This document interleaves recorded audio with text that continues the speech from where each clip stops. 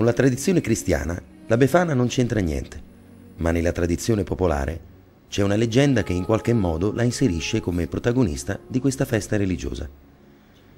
I re magi stavano andando a Betlemme per rendere omaggio al bambino Gesù. Giunti in prossimità di una casetta, decisero di fermarsi per chiedere indicazioni sulla direzione da prendere. Bussarono alla porta e venne ad aprire una vecchina. I re magi chiesero se sapeva la strada per andare a Betlemme perché là era nato il Salvatore.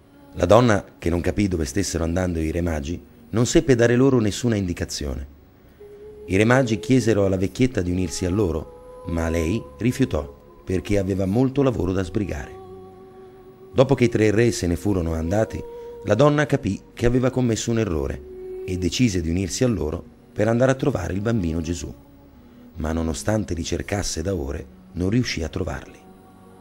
Allora si fermò ad ogni casa lasciando un dono ad ogni bambino, nella speranza che uno dei bambini in fasce da lei omaggiato fosse Gesù. E da allora continuò per millenni.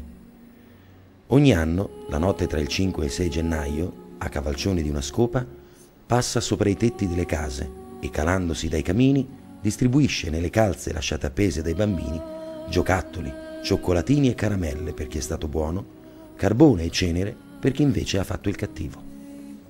Ricordate bambini, è tradizione lasciare alla Befana un piattino con un mandarino o un'arancia, in modo che si possa rifocillare.